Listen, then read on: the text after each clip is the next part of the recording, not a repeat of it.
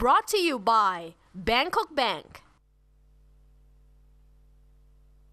Rajamangala University of Technology Thanyaburi.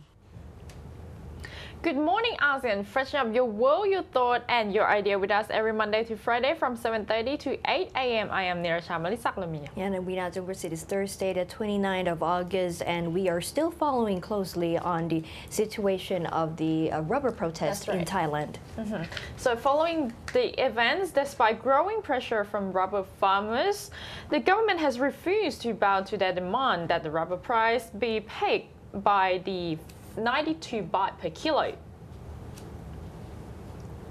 Agriculture Minister Yukol Limlaemthong yesterday stood there by the government's offer of 80 baht per kilo during an hour-long negotiation session with farmer representatives.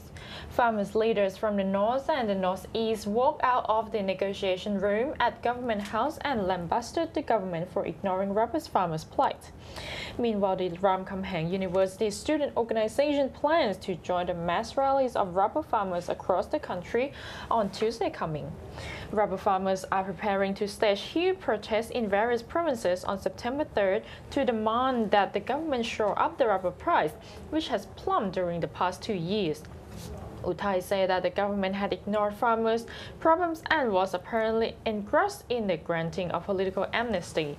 He showed up at parliament to submit an open letter to Prime Minister Yingluck Shinawatra, urging her to show her sincerity by addressing the crisis of plunging crop prices, stopping the politicizations of the protests, and investigating the use of force against rubber planters in Nakhon Si Thammarat.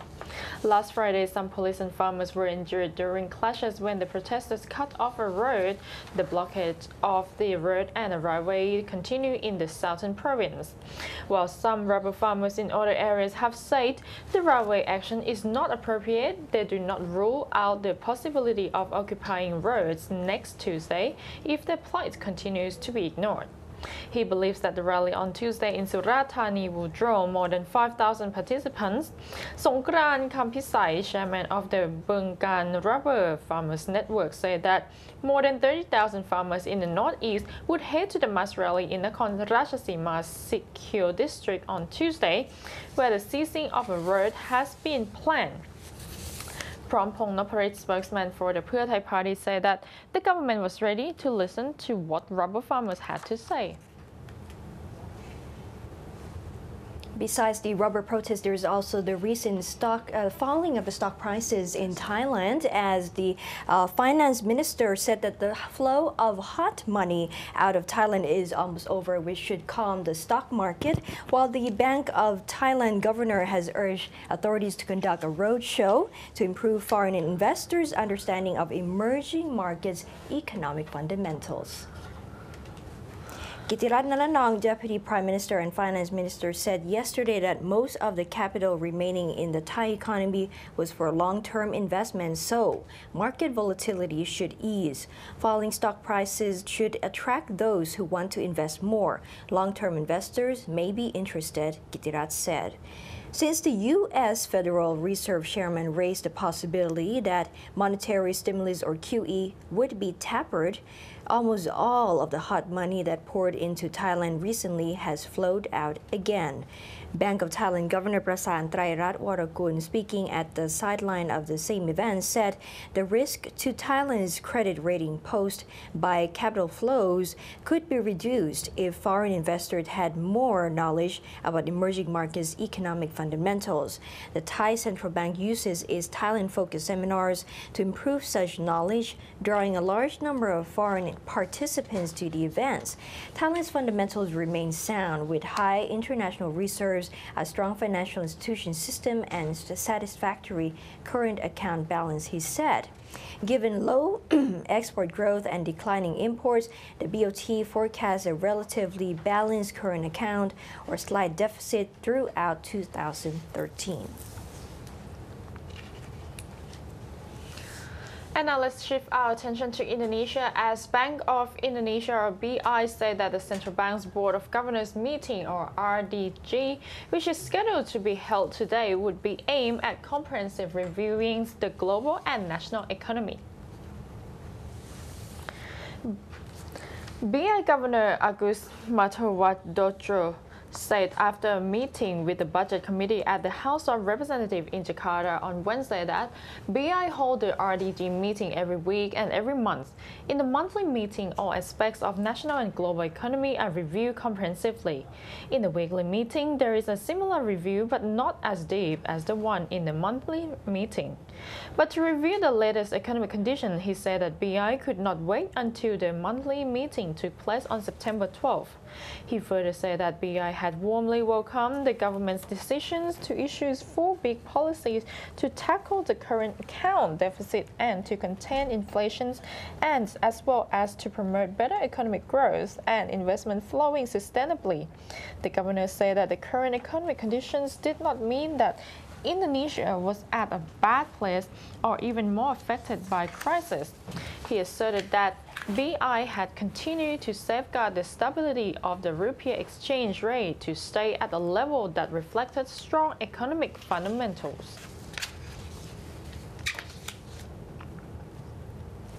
As more fires were detected in the Indonesian island of Sumatra, the air quality in parts of Malaysia are said to have worsened. The smoke haze is currently being blown across to Malaysia from Sumatra, where the number of hotspots detected is said to be more than 250. This is almost as high as the figure that was recorded during the peak haze period two months ago. On Wednesday afternoon, the air quality in Sungai Petani, which is located in the northern Malaysia, reached an unhealthy level.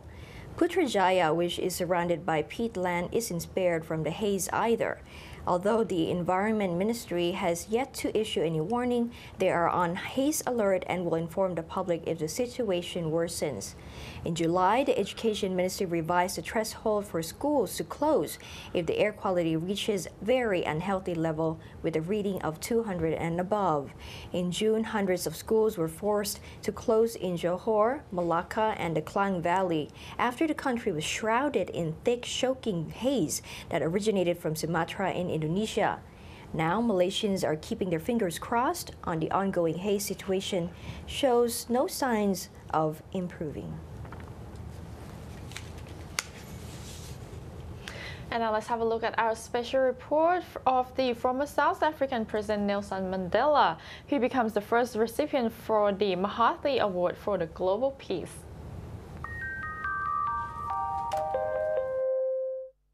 Former South African President Nelson Mandela was awarded the inaugural Mahathir Award for Global Peace.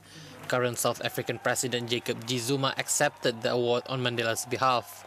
Describing Mandela as a friend, Tun Dr. Mahathir Mohamad says it is appropriate that Mandela received the award as he is truly a man of peace. I remember the first time I met Mr. Mandela in Zambia, just after he was released from Robben Island.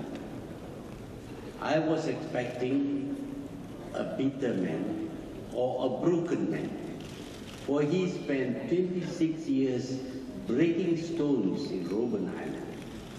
Not many people can endure 26 years of captivity and hard work.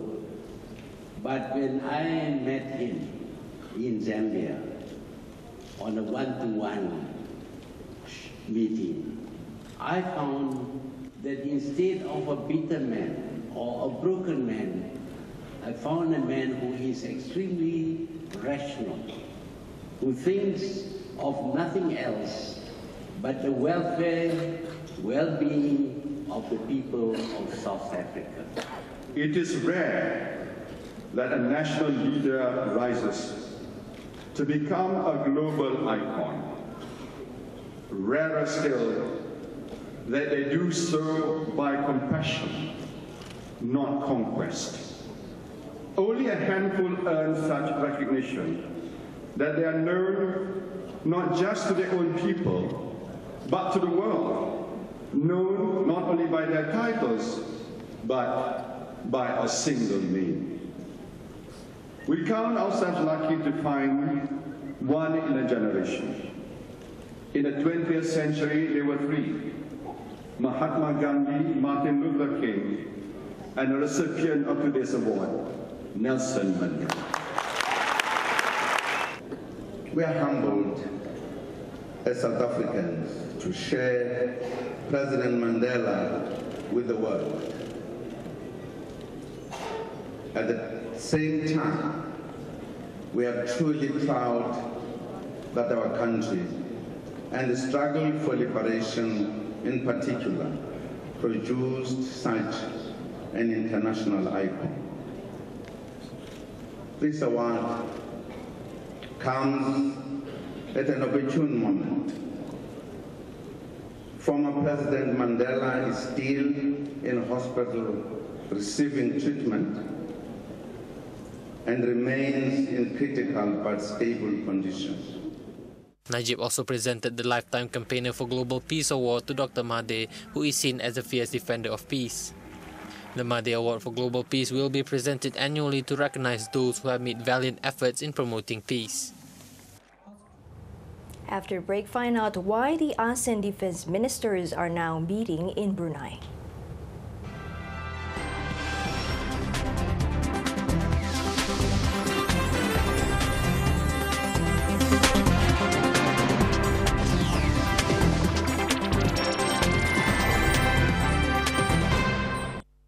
Brought to you by Bangkok Bank.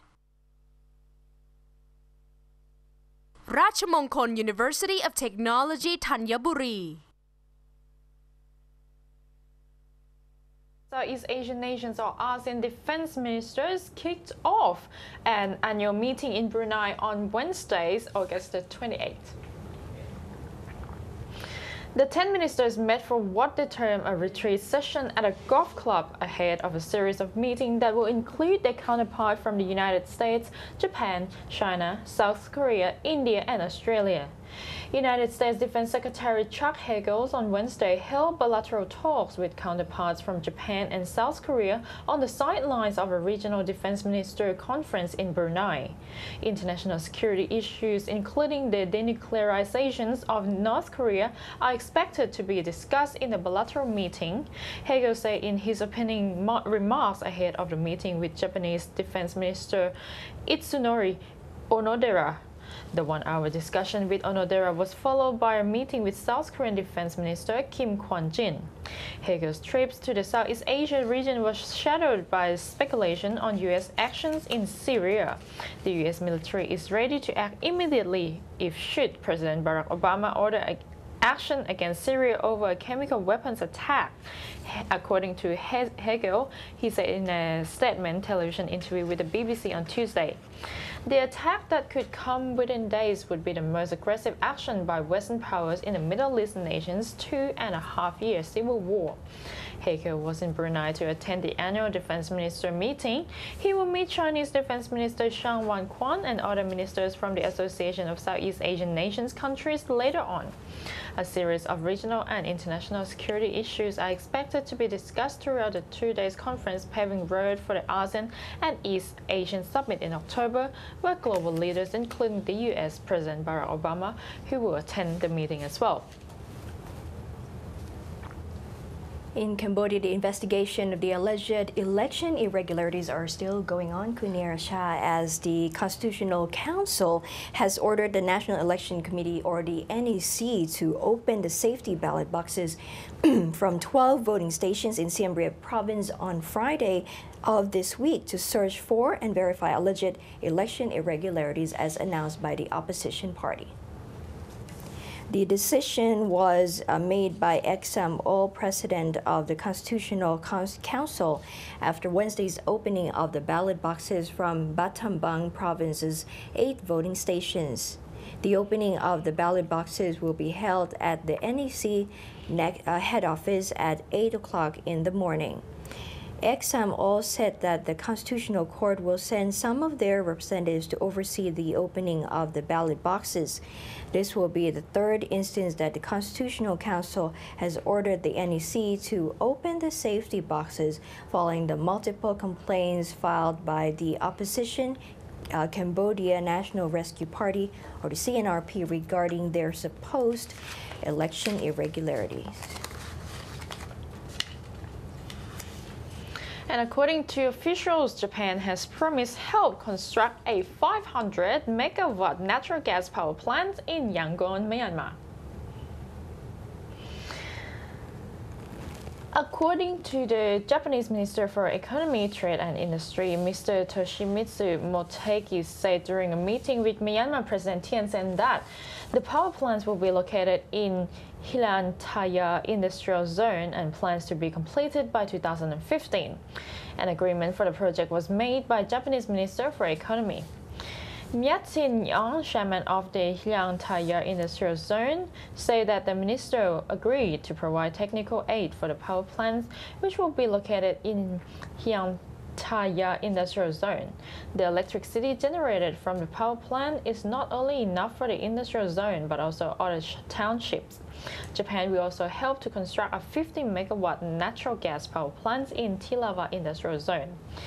Myatin On added that the gas-propelled power plant in Thilawa is smaller than that of Hlaingthaya. The Ministry of Energy has invited local and overseas companies to help generate 24-hour electricity for 15 industry zones in Yangon.